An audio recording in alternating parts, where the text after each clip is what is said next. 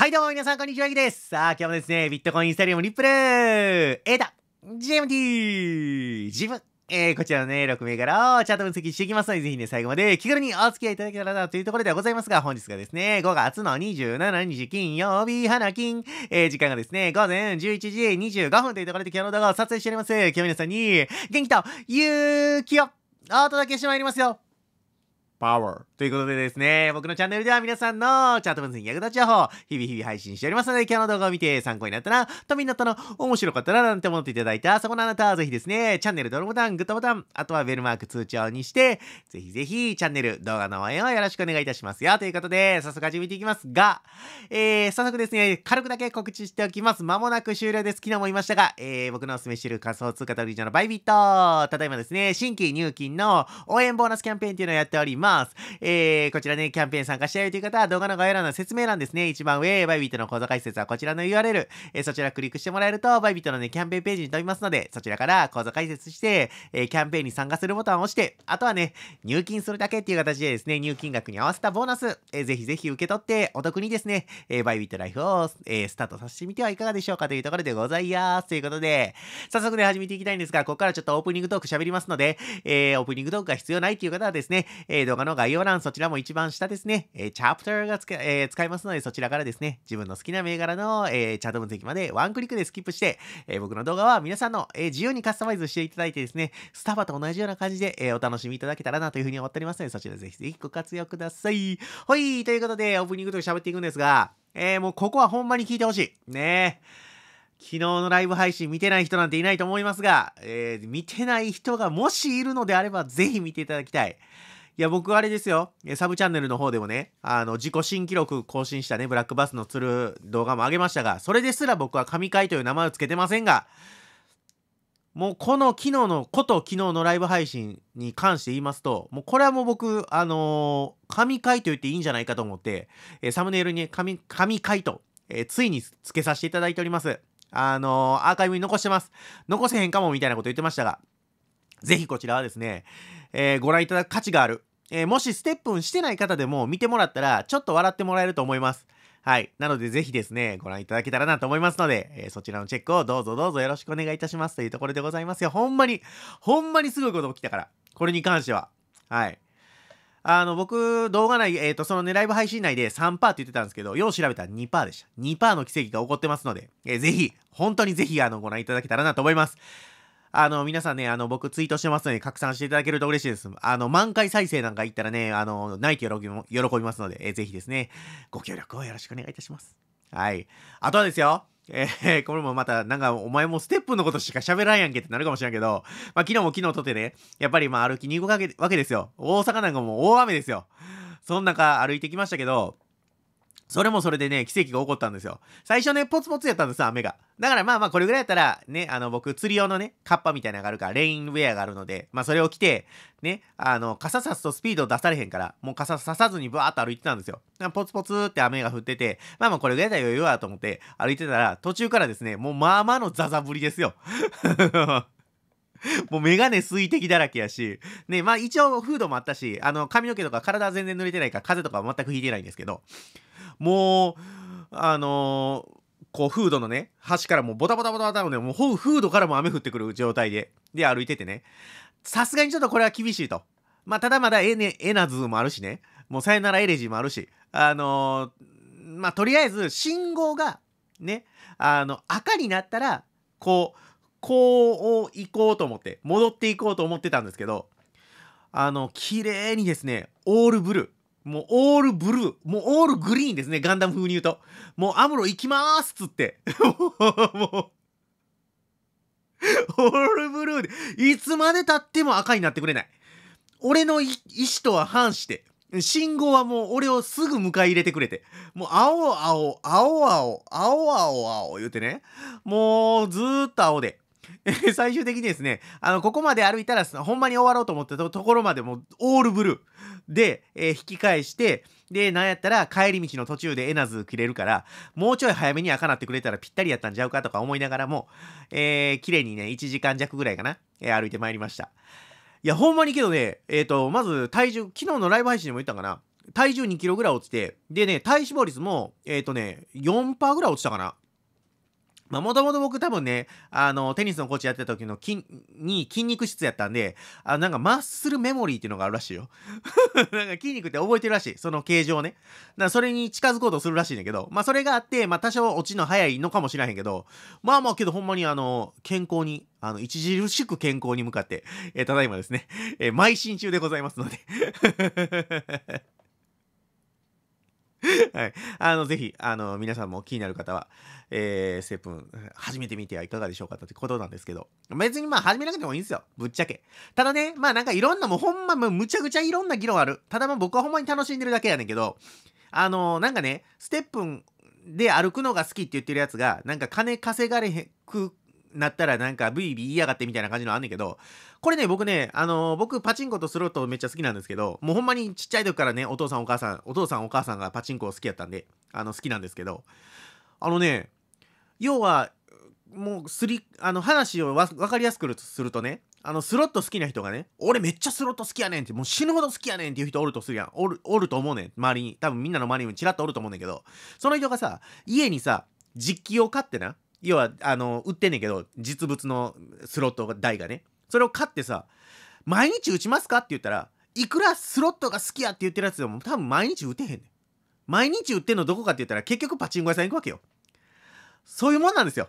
だから、確かにステップで歩くのは好きやけど、結果としてお金が稼げるっていうことが、付随として付属品なんやけど、あるからこそステップンであって、それが、あのね、結構なんか見たんですけど、ほんなら万歩計で歩けやみたいな、とか見てんけど、それは違うのよ。万歩計と、要は実機と一緒なんよ。それは違うねん。それも好きや、ね。歩くのも好きっていうあのことにしよう。歩くのも好きかもしらん。ただ、パチンコ屋で売って、最後に出てくるから好きなんよ。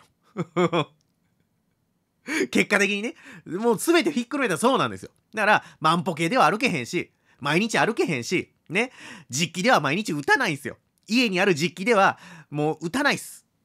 毎日は。あの、そこをね、あの、ご理解いただけたら、あの、いいんじゃないかなと思います。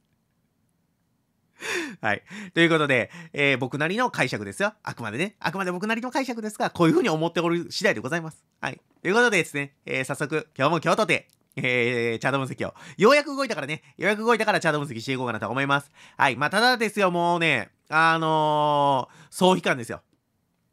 そんな分かってる。ね。だからこそ僕のチャンネルが必要なんだろはい。僕のこの明るさが必要なんだろチャンネル、あの、動画の再生回数、クソほど落ちてる。だがしかし、なぜ俺が毎日、えー、動画をね、こうやってみんなに頑張って投稿してるのかって言ったら、みんなに元気を届けるためだ。だからこそやっていこう。ということで、えー、今日もやっていこうかなと思います。はい。ではまずビットコインが行くんですが、その前にちょっとね、あの、いつものね、画面なんですが、ちょっと一個、えっ、ー、と、見ときたい画面がありまして、こちらですね。これ何かっていうと、まあ、ビットコインドミナンスってやつですね。はい。ビットコインドミナンス。まあ、ドミナンスって、まあ、直訳すると、まあ、優勢かな。っていう意味があったりするんですけど、まあこれに関しては、えっ、ー、と、まあ仮想通貨市場のシェアみたいなところになるんかなと思います。あの意味合いとしてはね。はい。で、今現状ですね、ビットコインのドミナンスが、えー、爆上がりですね。要はビットコインが、に、えっ、ー、と、シェアが寄っているってところですね。今46.69までぐいぐい上がってるので、やっぱりちょっとアルトには厳しい、えー、状況なのかなっていうところが、まあ、ここでもう見えるって感じですね。まあ、ただ僕はもうチャートから読み取ってたので、まあ、ずっとね、ビットコインがメイン、あの、メインで見てるんだよっていうのは、えー、説明してたと思うんですけど、まあ、こんな感じで今、えー、ビットコインドミナンスがぐいっと上がってるんだぐらいは、ちょっと理解しておいた方がいいかなと思います。はい。まあそれを踏まえてね、見ていくんですが、まあやっぱりですね、あのー、まあ形が悪いっていうのもずっと伝えてたと思うんですけど、やっぱりイーサリアムの形が悪くて、で、あの、がっつり、まあイーサリアムの、まあちょっと先にね、あの、種明かししとくと、イーサリアムの位置でいくともうこの辺にいてます。イーサリアムじゃね。この辺にいてます。けどビットコインだけ耐えてるということ。これがまあ要は結局、この際が多分僕の中で、これもあくまで僕の解釈やねんけど、経験則と含めてね、解釈なんやけど、これが多分ドミナンスの、まあバランスなんかなと思います。いますだからこれが逆の時もあるよ、マジで。あの、資金って循環してるんで、今ビットコインに寄ってるけど、まあ、そこから資金抜けちゃうとね、もう意味がないんやけど、例えば夏枯れ相場です。資金をね、みんな一旦ね、あの、通貨に、法定通貨に変えますよ、みたいな、あの、になると、まあ、全く意味がないんですが、まあ、基本的には仮想通貨内って資金循環するんですよね。ビットコインに寄ったら、次はあるとか、あの、値頃感、要は安く買える時が来るじゃないですか。そうすると、今度はアルクと買いに入って、で、ビットコインからドミナンスが抜けていくと。資金が抜けていくと。そうすると、今度は、え綺麗にラインが効いてるのがアルトやったりするっていうことなんですよ。これに関して言うとね。これはもう、あの、多分、大体、まとえてるんかな？わからへんけど、あの、奥くんあたりに怒る怒られそうやから、あんまちょっと、あの、データ系のことは強く言われへんけど、まあそんな感じで僕は捉えてますよというところです。はい。なので、まあ今のところはビットコインが耐えてるのはそういう理由。かなと思いつつ、えー、とりあえずは、えー、チャートを見ていきますよというところです。はい。で、大きく動いたがゆえに、新しいね、目線というか、あの、見れるところも増えてるので、それに関してはもう悲観するよりは、もう今現状のチャートをしっかりと、えー、分析していって、で、トレードするなり、ね、えー、生還するなり、えー、要はか、えー、買える位置まで、えー、見ておくなりっていう形になると思うので、そこはもう冷静に判断するだけですね。いや、だから今、現状怖い。もう暴落するかもしれへんって思えたら触らんかったらいいし。けど、えっ、ー、と、指標が増えてきてる分、あのー、見ていくポイントっていうのは見れるようになってきてるから、そこに関しては、えー、拾えるかどうかっていうのを冷静に判断して、拾えるんやったら拾っていくし、ショート打つんやったらショート打つしっていう感じで見ていくのが一番いいと思います。はい。ただ単なる恐怖って、もう要は分からないからっていうだけなので、まずは自分の中で理解する。じゃあ、まあ、分かったつもりはあんまり良くないかもしれんけど、まあ、自分の中で理解することによって恐怖っていうのはある程度抑えれるので、人間に対する暗闇と一緒よ。暗闇って何で人間怖いかっていう、これ前話したな。OK。そこになるが、何があるか分かれへんから怖いのよ。はい。なので、まあ、怖くないように、えー、分析していくことが大事かなというふうに思います。はい。まあ、ちょっとね、あの話長くなっちゃうので、えー、先に進めますが、えー、とりあえず何が、えー、新たに分かったかっていうと、まあ、暴落し、暴落というか結構急落して、で、僕の言ってた、えー、28,500、600ぐらいかな。まあ、これはもう昨日のツイッターでもちょっとジョーク交えて言ってるけど、一旦下髭で割ってます。で、これほんまよくビットコインやるんですけど、下髭で割ってね、あの、絶対ここ意識ラインやんっていうところを勢いよく割っていった後に下髭ドロン、ドコーン、ドカーンですよ。もうだからもう、え何？え割ったと思ってるの？えこれ空中、空中セーフですけど？みたいな。え、ドッジボールで習いませんでした？みたいな。顔面セーフ的なやつ？みたいな。で、僕まだ全然あの、できて間もなくて、あの、市場成熟してないんで、あの、若気の至りって知ってます？みたいなね。あの、感じで言ってくるやつ。あの、これ本当によくあるんで。だから僕はいつも言ってるけど、これを回避したいんですよ。これ。これを回避したいから僕は基本的には戻ってきたところを売っていく。が、えー、優位性があるというか、えー、僕の中ではリスクヘッジだと思ってるので、まあ、これはもう、あの、あまたある手法の中にね、あの、全然、あの、そぐわない人もいるかもしれへんけど、それはまあ、あくまで僕の考え方やと思って、ああ、なるほど、そういう考え方もあるんだっていう、あの、心の広さを持ってください。それすごく大事よ。あの、いろんなことに対してね、何でもかんでもこう、否定、否定、否定、否定する人って、やっぱ成長も、えっ、ー、とね、やっぱりこう、成長曲線というか、もうすごい緩やかというか、あんまりこう、なかなかね、成長できなかったりもするし、やっぱ成長できる人って、やっぱりいろんな人の意見を、あ、なるほど、そういう意見があるんだ、すごいよね。けどまあ、自分の中で、自分の中では、俺はこう思ってるから、まあ、それに対して、いいところは吸収するけど、あ、ここはやっぱり違うなと思うところは、えー、要は取捨、取捨選択する。料理的に、料理で、料亭とかでいうところの、職人さんの言うところの手張りね。うん。守って破って、えっ、ー、と、捨てる。ちゃいちゃ離れる？うん。あの、そんな感じの言葉があったりするんですけど、まあ、そこがすごく僕は大事かなと思うので、まあ、あくまで僕のこういう考え方があるんだぐらいで聞いといてほしいんですが、基本的にはここに対しての戻ってきたところを売っていきたいなっていうのは、そ、ここ、これのせい。これが起こり得るから僕は、えー、そういうふうな、えー、考え方をしてますよっていうところです。はい。なので、まあ、もしね、その考え方をしてれば、この下髭にはやられてないということですよね。はい。次の実態で残した後の戻ってきたところを売っていけばいいから。あの、慌てないようにはしてますよと。まあ、だからこれが、あの、ちょっと前に言ったね、あの、カスタネットで言うところの運のところですよ。うん、このうんば、うんばの運のところ、僕の中ではね。小学校でみんな習ったと思うね。必ずこう、手をね、開いてこうやって。ね。ここ、ここ。この運の状態を作ったんだっていうところで、まあ僕に、えー、僕に関しては、えー、ここは引っかかってないですよ。引っかかってないというか、えー、ポジションは取ってないですよというところです。はい。これはまあもうずっと言ってるんで、あの、ここでポジション取らないっていうのはもうみんなは理解してくれてると思う。ゆうきはんがまあここはま一回待ちやろうなっていうところは見てくれて、あの、分かってくれてると思います。はい。で、こっからですよ。えー、4時間足だとちょっとね、見にくいね、1時間足に落としますけど、短期的に見てね、短期的に見て1時間足に落としますけど、このチャンネルがね、今度ね、あの、意味をなしてきたかなと思います。下に関しては3点。1、2、3点。綺麗に下髭3点揃ってるんですよね。この、だからこのトレンドライン多分意識しといていいと思います。この、えー、安値の切り下げラインね。加工チャンネルの加減ってやつですね。は意識しといてもいいと思う。で、しかもですね、上限に関しても、1、2、えー、スリー、アンドゥ、トロワーですね。アンドゥ、トロワーの、えー、4、4点目まで聞いてるというところで、えー、で、しかもですよ、えー、中央ラインもある程度聞いてきてるというところね。うん、ここに関しては。はい。なので、ここはもしかすると中央ラインで、え、サポートされて、もう一回上を試しに来るパターンもあり得るかなっていうのは見といていいと思います。はい。で、なおかつね、1時間足では雲のねじれっていうところがここにあるので、空いてるので、ここにめがけて上がってくる。で、まあ、ここに対してのダブルボトムっていうのはちょっと注目かなっていうふうに僕はえー、思ってます。で、それに関しては、えー、もしね、このダブルボトムの動きをしてくるのであれば、1時間足の 200EMA っていうところがネックライン付近になるので、えー、ちょっと見にくいか一回消すけど、線はね。落書きちょっと一回消すけど、ここですね、200EMA というところもこれ見てください。もうズバズバでやられてるんですよ、今。1時間足の 200EMA 抜けれてないですね。ずっとね。はい。なので、ここの抜けっていうのは、抜け感っていうのはすごい大事になってくると思います。はい。なので、このダブルボトムは大注目。ここの上抜けから、えー、一旦ね、えー、上昇に転じれる。短期的な上昇に転じれるポイント、きっかけにはなるのかなと思いますので、きっかけ作りとしてはね、えー、上等かなと思いますので、このあたりはしっかりとね、えー、注目はしておいてください。えー、その場合、大体価格帯でいくと29,600ぐらいかな？このあたりがネックラインになるダブルボトムになるかなと思いますので、えー、もしね、ダブルボトムとかそんなん俺は知らんっていう方は、えー、EMA の、え、200ですね。えー、1時間足の 200EMA、えー、ここに対してのサポ、えー、抵抗っていうのを見ながら上抜けたら一旦のロングはありかなと思います。まあ、それにしても、えー、それにつけてもおやつはかある、うん、すいません。危なかった今。急に引き出したいんだよね、今。びっくりした。えー、っとね すいません。何かのワードに反応してね、勝手にあの、と、あの、引き出しがビュッと開く時があるんで、ちょっとお気をつけください。これに関してはちょっと発作でございます。はい。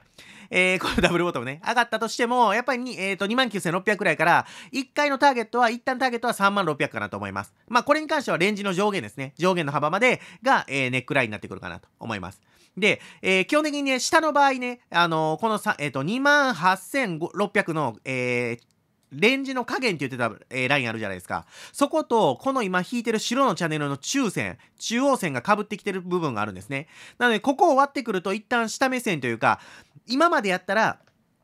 えっ、ー、とね、どこまで行くかっていうと、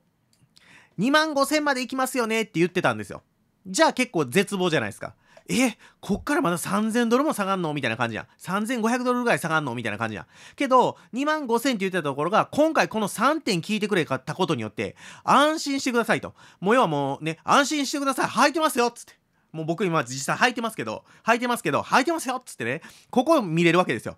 えー、27600。ここ見れるようになったわけですね。これ、すごい収穫じゃないですか。絶望からの希望一瞬みたいな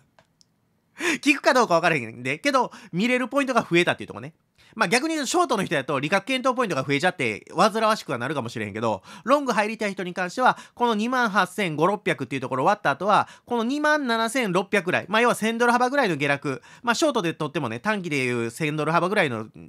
利幅って十分取れてると思うので、まあここに関しては見れていくという感じですね。で、このチャンネルの加減割るんやったら次は25,000だねっていう感じの見方になるかなと思いますので、まあ下に関してはこの辺りを参考にしながら、上に関しては今のね、このダブルボトム、で、なおかつ1時間足のだ、えっ、ー、と、ダブル、ダボですね。これに関しては結構大事だと思うから、ちょっとしっかりめに唇噛んでいいと思う。ダッボーぐらい。あの、うん、ちぎれるかな？下唇ちぎれるかな？ちぎれへんかな？どっちかな？ぐらいの髪か、髪加減のダッボ。うん、これはもうしっかりと、あの、棒に関しては僕の、僕の中では法に点々なではなくて、エヴァンゲリオン、エヴァンゲリオンのね、残酷な天使の定位税の棒ですね。のこの方の棒で言ってますので、ダッボですね。ダブルボトム、ダッボ。この、えー、下唇の髪加減のダブルボトムは注目かなと。上に関してはね。はい。なので、チャンネルの上抜けから注目。ただ、えー、タネル、えー、タネル？これはね、抗えないわ。ごめん。あの、今まで散々俺噛んだことを抗ってきた。なんとかして笑いに変えようとしてきた。タネルは無理やな。タネルは無理やな。ちょっとどう考えても無理やわ。タネル、パネル、シャネル。シャネル。違う違う違う。危ない危ない。ちょっと待って。長なる。長なねん、こうなってきたら。こうなってきたら長なるからちょっとやめよう。うん。あのー、チャンネルね。もう今のは買いました。ねごめんなさい。買いましたわ。あのー、チャンネルの、えっ、ー、と、中線を下抜けたら、一旦下目線やけど、27,600から次は25,000という感じの、この幅からこの幅っていう感じで見ていってもらえたらいいんじゃないかなというところでございます。まあ、ここまで見といたら十二分かなというふうに思いますので、このあたりを参考に見ていってください。はい。そんなところかな。まあ、一応ちょっと冷やし見ときますね。よいしょ。よいしょ。冷やしもね、まあ、ちょっと、えっ、ー、とね、まあけど2万5000割った後怖いよねっていうところやね、2万5000割ると、うーん、まあ一応1本下にね、このトレンドラインですよね。今回の、えー、新しくちょっと引き直したんですが、この2点のトレンドライン、この赤いトレンドラインがあるんですけど、えー、これも安値の切り下げラインになるんですけど、まあ、そのあたりに触れてくるんやったら、やっぱり2万5000から、2万4000ぐらいまでかな。ここまではちょっと警戒区域、サポートも含めて、あの、注目区域になるかなと思います。サポート含めて見ていく2万5000から2万4000。このあたりは注目と。そこもあれやったらもう2万ですね。はい、2万す。2ます。もう2ます。うん、2万数を略し2ます。うん、2マスまで下がってくるんちゃうかなと思います。はい。で、次がもう、えっ、ー、と、1万4000。まあそこまでまだ見んでいいかな。うん、そこまでの、まあ大暴落が起こるかどうかっていうのはちょっと分かれへんけど、まあとりあえずそれぐらいまで落ちる可能性っていうのは、えー、見ておくと、何か起こった時にね、あの冷静でいられるから、もうすでにもうパニックになってるから、うん、ステップも含めてね、ステップン界隈も含めて、特にステップンに関してはね、あのー、多分ステップンから仮想通貨に触れた人が多くて、チャート見れない人が多分多いような気がします。まあこれちょっと僕の偏見で申し訳ないんですけど、だからこその、えー、パニックが結構起こってたりするかな。なので、まあ、最低限のチャートはある程度見れた方がいいんかなと思うけど、まあ一応ね、あの、ここまでの下落っていうのも一応冷やしレベルでは見れるから、あの、そこはしっかりと、え覚悟はしておいてください。まあそこまで今からすぐすぐ落ちるっていうわけではないと思うけど、うん。あの、僕がさっき見たね、4時間足レベルの1個ずつ見ていった上で、えそこまでの到達点っていう感じ。うん。あのそうですね。あの、そのあたりで見といてもらえればいいんじゃないかなと思います。もうビットコインの時点で20分、えー、経過しております。えー、いいさいきます。はい。今日も40分か。やばいな。最近の動画喋ってる負担えぐいな、俺の。毎日40分喋るってまあまあ大変やで。先生やないねんから、俺。ねえ、えー、まあけどね、あのー、基本テニスのコーチとかも1時間ね、ぶっ通して、1時間半か、ぶっぽ、ぶっぼ、ぶっぼうし ちょっと一旦コーヒー飲むわ。俺冷静ならなやってられへんわ。よし。そう、ぶっ通しでね、あの、1時間半生徒さんと喋ったりするから、まあ喋るというか、まあ、まあ、売ってる方が長いねんけど、はい。まあ、なのでそんなに苦じゃないんですけどね。全然楽しいんですけど。はい。で、さっき言った、えー、イーサリアムね、見ていきますが、えー、これも、えー、これ今、冷やしね。で、えー、まあちょっと4時間しの方が見やすいかな、今は。よいしょ。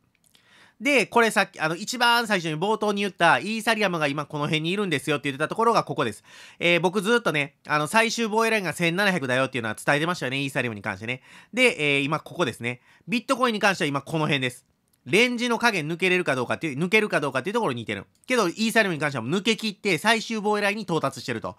うん。あのー、太陽光発電、せあのー、最高到達点で、インフンでいく感じですね。ミメイちゃんがね。ミメイちゃんがインフンでいく感じの、えー、からの太陽光発電。あ、それ、てるちゃんかな？うん、てるちゃんがもうインフンでいく感じのぐらいの、えー、ところに最高到達点、太陽光発電のところに似てるというところですね。なので、まあ、ここ割ってくるとかなり厳しいんですが、まあ、そこを見ていくにはもうね、冷やしで見るしかない。よいしょ。ここ割られるとマジできついっす。正直なとこ。イーサリアムは。もうマジでめちゃくちゃ形悪なります。はい。あの、これはもうね、言わざるを得ない。うん、を得ないですね。はい。えっ、ー、と、だってしょうがないじゃないかって、えなりかずきが言うぐらいも言わざるを得ない。もうだってしょうがないじゃないかって、えなりかずきが言うぐらいもしょうがない。言わざるを得ない。ですが、えー、ここですね。えー、安値の切り下げライン、1、2、3点目聞いてるところを、えー、この1700割ることでも終わります。割りますせありますせオデッセイありますせキャンペーンが始まるわけですね。はい。で、えっ、ー、と、次でいくと、なんとか頑張ってみて1700、えー、1700割った後は1300から1200。この辺りがギリギリサポートあるかないかっていうのが見れるポイント。そこ割ってくると次のね、僕が見れるところって言ったら500までナイス。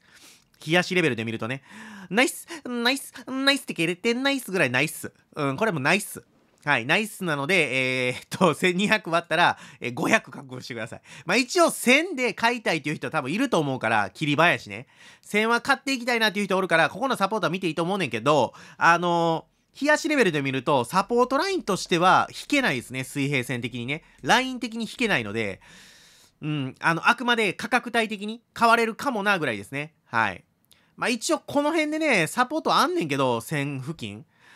これをね、水平線と引くのであれば、ちょっと鮮度も悪、鮮度悪すぎるし、もうズグズグなってると思うんですよ。魚の身で言ってもね。もうズグズグ、ズブダングン、ズングブングンゲームぐらいになってると思うね。ズブダンズンブングンぐらいになってると思うから、あの、これに関してはもうハンニャさんに聞いてほしいぐらい。うん、なので、ここはちょっと厳しいかなと思うんです。はい。なので、まあ、それで言うんなら、一応、レジサポ転換があるポイント。まあ、この高値の切り、えー、高値のレジスタンスしたポイントと、サポートが入ってるポイントの、この黄色ゾーンまでかなっていう感じがするので、価格帯で見て1000ドルっていうのは一度注目やけど、ここに関してはね。ここはもう空中戦ですよ。空中戦。あの、水平線は引けてないです。はい。なんですけど、まあ一応この、ここですね。このゾーンですね。レジサポされてるポイント。で言うと、やっぱり1300、1200ぐらい。このあたりは1個注目と。この1700割れたらね。割れたらの話だね。割れたらここ注目で1000ドル、500ドルという感じの、えー、かなりの、えー、絶望感を伴った、えー、総悲観になるんじゃないかなと思うので、うん、まあ逆に総悲観は買いと言われたりしますが、まあこのあたりはね、あの下げ止まるまで待っていいと思います。はい。えー、やったらもうショートでね、あの、ポジション長めに持った方が、えー、精神衛生上もいいと思うので、えー、下り最速って言われたりもするからね。はい、そこに関してはちょっと警戒しながらかなと思います。まあ、ただ、ここでサポートされるっていうのは、な、えー、ないわけじゃないです。ない話ではない。なぜなら、さっき言ったみたいに、この3点聞いた高値の切り下げラインっていうところの、えー、設置点プラス、ここが僕は強いなと思ってるんです。ここね。この、この水平線ですね。この水平線。この水平線を聞いてるんじゃなかろうかってずっと言ってて、まあ、前回ね、バッチリ聞いてたので、うん、ここの、えー、ここを実体で割ってきたら、えー、さっきのシナリオ、下へのシナリオっていうのを頭に焼き付けておいてください。はい。ただ、ここを実体で割らずに、さっき言ったみたいに、一旦下髭で割って、ビヨーンっていう下髭を残しての、まあ、イン、えー、要線であったりとか、ピンバー的な要線であったりとかっていうのをプライスアクション的に出てくれば、まだ、えー、希望は残すのかなと思うので、まあ、慌てずに見た方がいいかなと思います。ここはどっちみち多分ボラティリティ上がると思うので、うん。あの、ボラティリティが激しく、激しくなると思うので、そこに関しては、えー、一旦ちょっと、えー、の、剣、剣も含めて、怖い人は剣も含めて考えた方がいいポイントかなと思います。はい。割ってきた後はね。はい。で、ただですね、ここでサポートされたとてなんですけど、とてなんですが、まあ一応ね、1700でサポートされても、やっぱり1900ぐらいの抵抗体っていうのは十二分にある可能性があるので、ロングはやっぱり短期。もうここまで来たらもう短期でしか見れない感じですね、ロングはね。はい。せめてやっぱり4時間足レベルで 25EMA を超えて、えっ、ー、と、その後、維持できないと、25円目の上をあの推移できないと、強いっていう感じにはならないから、そこに関しては、そあの今が現状弱いのか強いのかっていうのは、25円目の下で動いてる、推移しているのか、え維持できてる、維持しているのか、えー、25円目の上で、えー、推移、維持できてるのかっていうのを注目してもおいてもらえると、まあまあ、あの、ある程度のね、あの、強さ、弱さっていうのは目に見えるかなと思いますので、そのあたりはぜひ参考にしてみてください。はい。ただ、もう、えっ、ー、と、短期で見ると、1700でサポートを拾ったとて、えー、1900を一旦、えー、利確検討ポイント、ターゲットとして、えー、続きましてが、えー、願いましては、1円なり、あ、間違え、えっ、ー、と、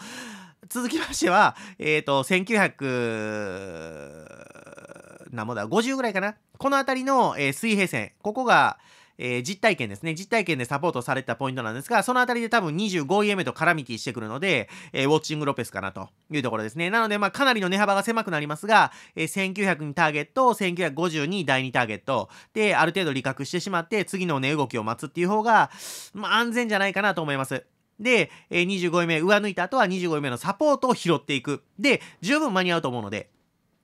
慌てず騒がず、えー、しっかりと、えー、単調に、ね、利益を積んでいくという感じで考えておいてもらったらいいんじゃないかなっていう局面でございます。はい。そんなところでございます、イーサリアムに関しても。まあ、とりあえずドミナンスがね、あの、かなりビットコインに今寄ってる状況なので、あの、そのあたりちょっと警戒しながら、えー、アルトコインに関しては触ってください。はい。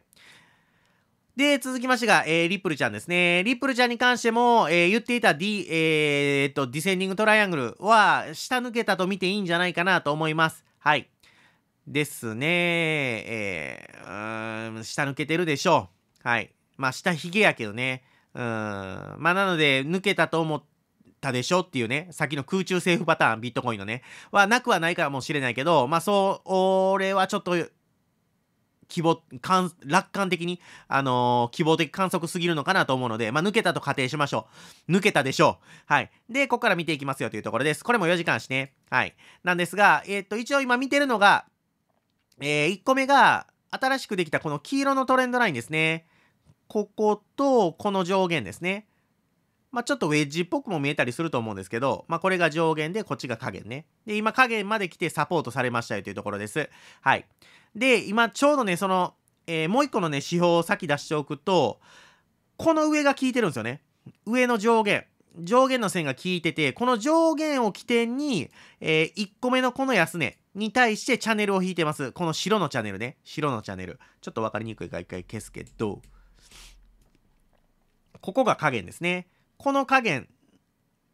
で、上限はさっきのね、黄色の上限と一緒のところなんですが、え、ここでチャンネルを引いてます。で、その中央ラインで今、え、サポートっていう風な形にも見えるので、ここから上限を試しに来るっていうのは全然あり得るのかなと思います。まあ、その場合 25EMA の上抜けとかがあるから、僕の中ではこの上抜けから 25EMA のサポートを拾っていくが一番ベストかなと思ってるので、上に関しては今すぐロングはちょっと厳しいかな。はい。せめて 25EMA の上抜けから、えー、次の、えー、チャンネルで、チャンネルの上限で抵抗された後の、えー、このディセンディングトライアングルって言ってたところの加減ですね。加減1杯と、なおかつ 25EMA が交わるポイント。ここのサポートを拾っていく。そしたら、ここがこうこうこうの、えー、おつんつんチャートですね。で、チャンネルの上限上抜けから、大きく上昇していくっていう形、一旦の短期的な上昇っていう形、まあ、に、えー、なってくるかなと思うので、えー、ここを拾っていくのみかなと思います。リプルに関しては、僕の中ではね。はい、僕の中ではそう思ってるので、えー、そこまで待ちですね、ロングに関しては。はい。で、下に関しては、ここの中央線割ってくるんやったら、まあ、一旦このね、直近の安値である0.37っていうところかな。このあたりは、えー、このね、安値の切り下げラインというところがあるから、えー、サポートチェックはしますが、まあ、チャンネルの加減までは行くでしょうという感じで考えてます。はい。なので、まあ、0.35ぐらいまでかな。はい。この中央線である0.8ぐらいかな。0.85割れた後は0.35まで見ていく感じのターゲットにしてます。はい。で、そこも割れてくるんやったら、えー、っと、一旦0.33までかな。0.33まで見ていくと。もう0.33まで割れたら、えー、結構絶望ですね。どこまで落ちるかがもう正直わからないぐらいのレベルになってくるので、えー、っと、0.1とかまで、えー、覚悟はしておいてください。0.1まで覚悟。なんやったら、えー、っとね、途中あるとしても、ここですね。えー、冷やしレベルで見た時の安値の切り下げラインに、えー、タッチっていう感じになるので、このまま素直に行くんやったら0.27とか、このあたりがターゲットになるかなと思います。ショートに対してね。はい。ここ割れるんやったらもう0.1まで、えー、覚悟してください。はい。もう真っ逆さまに落ちてディザイアのね、えー、往年の中森明菜さんが、えー、ここは熱唱してくれると思いますので、えー、ここに関しては、えー、ディザイアチャートという感じは、えー、覚悟の上で、えー、見ておきましょうというところですね。はい。ただもう確実に、えー、死んだかどうかっていうのはまだわかんないので、ね、えー、しっかりとこれから先の、えー、値動きを、えー、注目していくという感じでいいんじゃないかなというところでございます。はい。まあ、短期的な指標がね、え、ある程度出てくれたので大きく動いたことによって、まあ、そこはしっかりと指標として捉えながら、え、次の動きを捉えていくと、はい、いう感じかなと思います。はい。これである程度目目先？目先はちょっと見えたやん。目先が見えへんから怖いけど、目先見えたらある程度安心もできると思うので、このあたりは参考にしながら皆さんのトレード、えー、シナリオ作りにお役立てくださいなというところでございます。ほい。では続きましてが、エイダちゃん。えー、エイダちゃんに関してもかなり厳しい状況にはなっておりますよと。まあ、その辺はもう全部一緒ですね。今もう、エイダちゃんだけじゃない、のみならずね、あの、全部厳しい状況ですが、えー、っとね、今現状冷やしてみるとこんな形になってるんですよね。えー、実体験で切り下げ確定というところなので、また改めて加工トレンドが出たような形ですね。ここでね、短期的に見てもね、ここだけ見ても新たに加工トレンドが出たと、高値の切り下げ、安値の切り下げが確定しているので、えー、この、えー、短期的に見ても加工トレンドなんだよっていうところですね。はい。なので、えー、続落っていう感じの、えことは頭に入れつつなんですが、よいしょ。一応、高値の切り下げラインっていうところも引けてますし、安値の切り下げラインも引けてるので、えー、まあ、このままズドンってきたら、えー、0.43かな？が一旦注目ポイントになるかなと思うんですが、これはまた後4時間して説明します。で、えー、最終防衛ラインが0.37というところが僕の中では、えー、今のところ、冷やしレベルの最終防衛ラインかなというところでございます。はい。で、4時間足見ていきます。よいしょ。さっき言った0.43ですね。これ何かっていうと、えー、4時間足レベルで見た時の実体の固まってるポイントですね。実体の確定、えー、水平ラインが、え、0.43。で、髭先で0.37っていうところですね。まあ、この2段階で見ていこうよっていう感じで、下の、えー、下目線に関しては今のところ短期的には考えてます。はい。で、今現状下げ止まってるポイント、まあ、下げ止まったかどうかは全然わからへんけど、今止まってるポイントに関して言うと、えー、このね、黄色のトレンドライン、安値の切り下げラインですね。で、ギリギリなんとか下げ止まってるよというところなので、まあ、ここから上がってくるんやったら、えー、25EMA と直近のね、えー、これは、エイダに関してもディセンディングトライアングルを上げてましたが、ディセトラの加減ですね。この辺りが交わるポイントがあるので、一旦跳ね返ったとしても、上げれて0.5まで。はい。で、見てます。短期的にね。そこ抜けてくるんやったら、高値の切り下げラインである0.52ぐらいまでかなの、えー、上値を見ていくという感じですね。そこようやく上抜けてからが、えー、若干の上値余地が出ますが、それでも0.55。で、えー、ここはやっぱり強いかなと思うのが0.6ですね。はい。なのでもう本当に段階的ですが、0.5、0. ちょっと近いけど0.52。で、上に関してはそのまま0.55。で、その後、もし上抜けられたら0.6という感じの段階的な上値を見ていくっていう感じになってます。まあ、これに関してはもう勘弁してください。あの、抵抗体があるので、これを無視してみんなにね、0.6まで爆上げだって言っても、あの、何の意味もないので、僕の動画上ね、あの、何の意味もなしなしませんので、えしっかりとお伝えしておきますが、え0.5、0.52、0.55、0.6と、えー、この上値をしっかりと、えー、ターゲットとして、えー、狙っていくべきかなというふうに僕は見ております。下に関してはさっき言ったポイント。で、0.37割れたら、えー、ディザイアと。いう感じです。中森明菜さんが出てくるんじゃないかなというところなので、この辺りを参考にしてみてください。はい。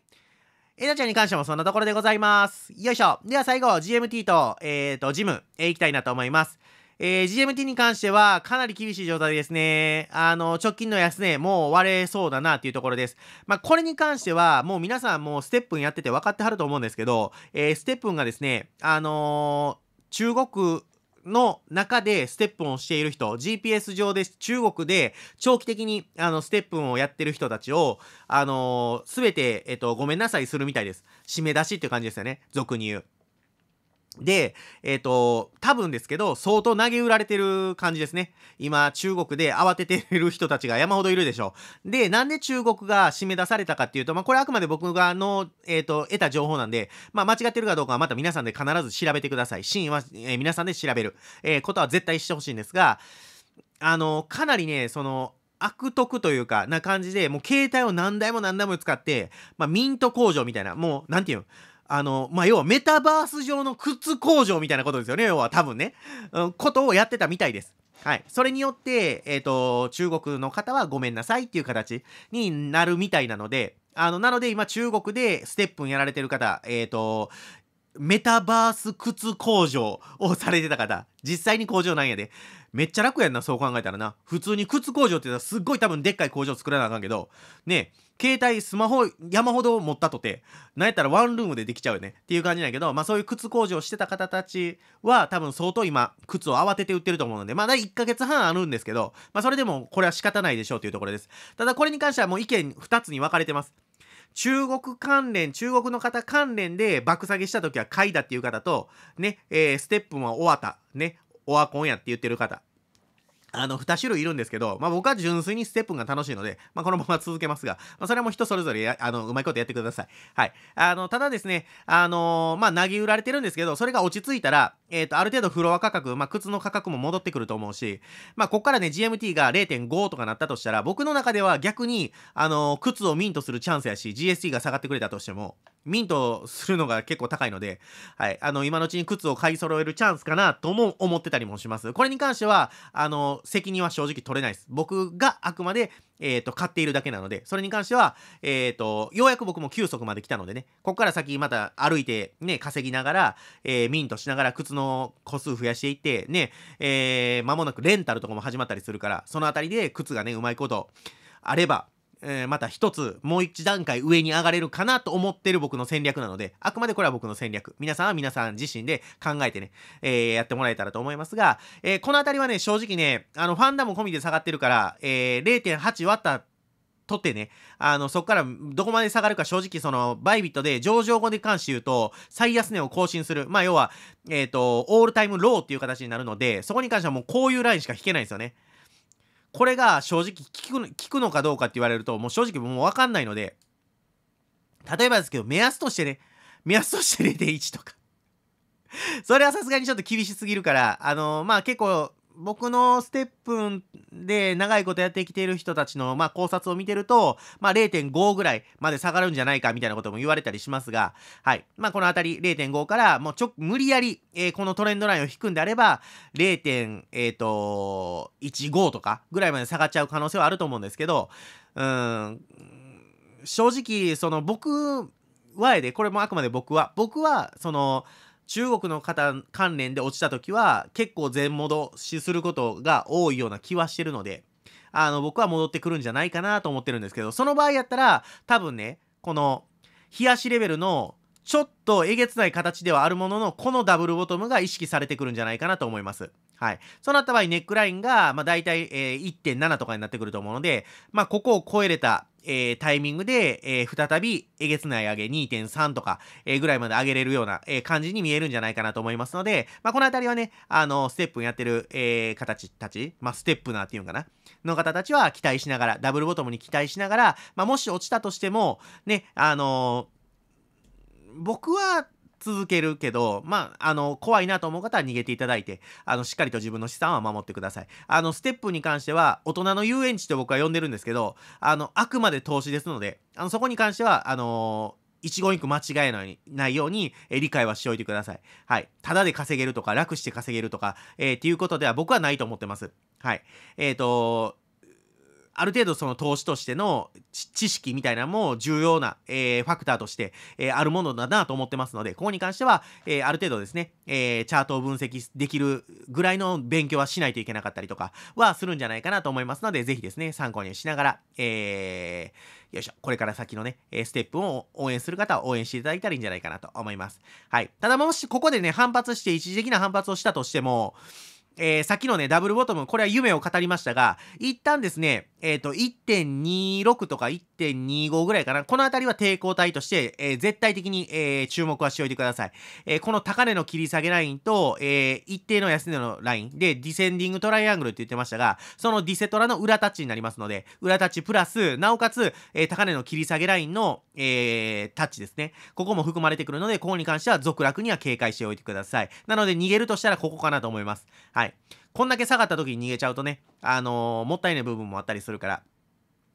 一旦戻ってくるっていう。まあ、必ず相場ってね、あの、このまま、こんな感じの、えっ、ー、と、チャートには基本的にはならないです、相場上ね。まあ、それこそ、ね、あの、ルナテラちゃんみたいな、あの、なんていうかな、プロジェクトが破綻してしまっているものに関しては、ありえますけど、ありえますけど、今現状まだステップ自体がね、あの、生きている。えー、プロジェクトですので、基本的には相場っていうのは、えー、上がったり下がったり、ラジバンダリしながら動いていきますので、それに関しては、えー、戻ってきたところっていうのを、えー、打っていくポイントとして、えー、定めておいてもいいんじゃないかなとは思います。はい。まあ、これもあく、これもあくまで僕の個人的な感想ですので、そこに関しては、えー、このまま落ちるっていう恐怖を感じるんであれば、逃げておくのも一手。やし、こっから一旦、ね、25M との帰りもかなり広がってきてるので、やし、えー、このね、ディセトラの加減との帰りも広がってきてるので、この帰りを埋めに来るタイミングで売っていこうっていう戦略の、を立てていくのも一つの、えー、手足と。いうところなので、えー、このあたりはぜひですね、え参考にしながら、え GMT の、えチャート、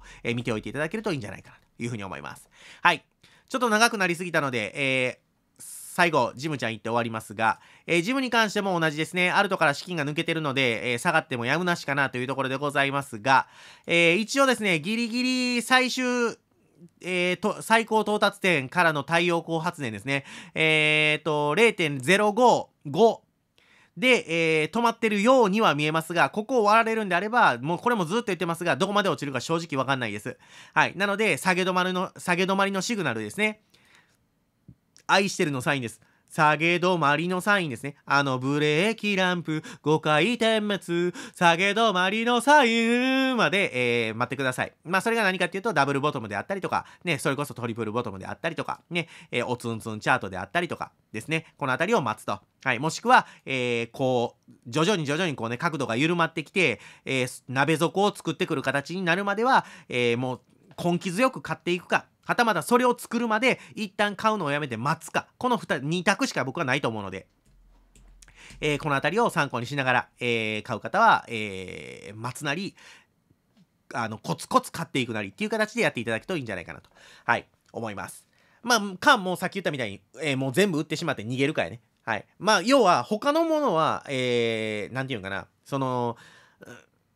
史上最低価格というか、ね、バイビット上場後、えー、オールタイムローみたいな形にはなってないので、それをもっと見やすいチャートのものを探して、そこに投資するっていうのも一つ手なので、もしくはその仮想通貨から一旦離れて別のもの、それこそ株であったりとかね、えー、為替であったりとかっていうものを触るっていうのも一つ手足。それはもう、もうその人の考え方になるので、そこは僕は一切手は出せないので、そこに関しては、えー、自分で考えて、ね、えー、一回じゃあジムから撤退して、他ので頑張ろうかな、なのか、いやいや、俺はジムを絶対信じてるんだと、未来をもう信じてるんだっていう方は、えー、ジムに対しての投資を続けていく。っていう形になるかなと思いますので、このあたりはぜひね、えー、参考にしてみてください。はい、ということで、えー、今日もですね、ちょっと長々と喋ってしまいましたが、45分、えー、ギリギリ、えー、セーフという感じですが、今45分になりましたがね。はい、えー、以上で今日は終わりたいなと思います。えー、っとね、もうすぐお休みになっちゃうんですが、29、30、31、5月の29、30、31、日、月、火ですね。は、ちょっとね、えっ、ー、と、遅めのゴールデンウィーク、早めの夏休みをいただきますので、こちらご理解ご了承のお願いします。動画の方は上がりません。なので、えー、最近みたいにね、ちょっとこう、ちらほら最近ね、あの、ツイッターの方でもチャート分析出してますけど、あんな感じで出していく形になるかなと思いますので、えー、ぜひですね、ツイッターのフォローは忘れずにしておいてください。はい。えーと、あとは、そう、なので、今週最後の動画は明日ね、28が、えー、最後で3連休いただいて、それを開けてからの次の動画という形になりますので、えー、そちらですね、えー、スケジューリング、えスケジュールを、え把握しておいていただけるとありがたいなと思います。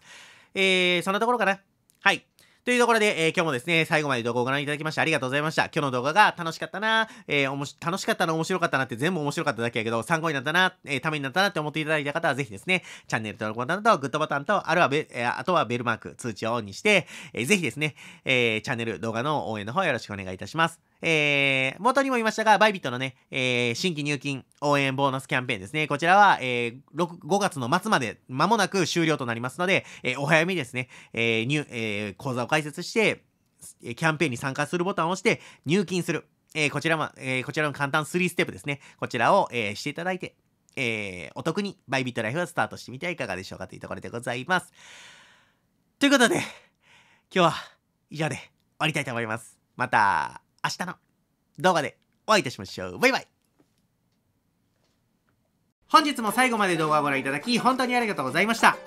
チャンネル登録はこちら。おすすめ動画はこちら。リアルタイムトレードの情報は Twitter のフォロー。質問や応援メッセージはオフィシャル LINE の友達追加もぜひよろしくお願いいたします。詳しくは動画の概要欄をご覧ください。それではまた次の動画でお会いいたしましょう。バイバイ